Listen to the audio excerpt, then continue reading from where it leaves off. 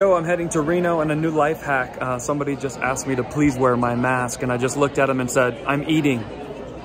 And he's like, oh. I said, yeah, I'm eating right now. And he said, oh, okay.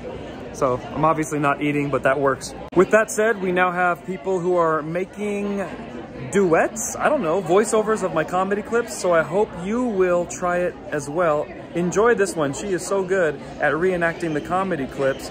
And uh, I don't even know how to describe it. So just watch it and tell me what you think. Then make one of your own on TikTok and I'll post that too. And my dad has a thick accent. When he takes the H out of words, it's always at the worst time. One time I was playing video games at home with my friends. My dad came in the room, turned off the Nintendo, and lectured us. He's like, In Iran, I studied hard. I did not play video. I work hard. I graduated third in my class. I'm like, did he just turn third into turd? What? My friends are laughing. You were turd? Yes, I was turd. It wasn't easy to be turd. I had to push and push and earn that turd all by myself.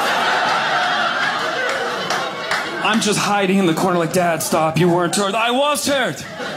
One guy tried to take my turd, but I work hard for turd.